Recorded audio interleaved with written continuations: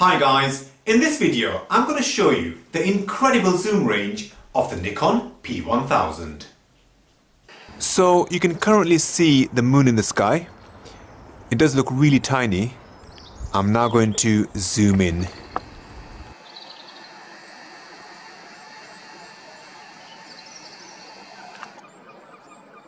Wow, what an absolutely incredible zoom. You can even see the moon's craters. Let me zoom in a bit more. Now I am using a tripod, but you can see the image is a little bit shaky, and that's because of the extreme zoom involved. The Nikon P1000 has a 24 to 3000 millimeter focal length, and I'm currently using digital zoom which takes the focal length beyond 3000 millimeters.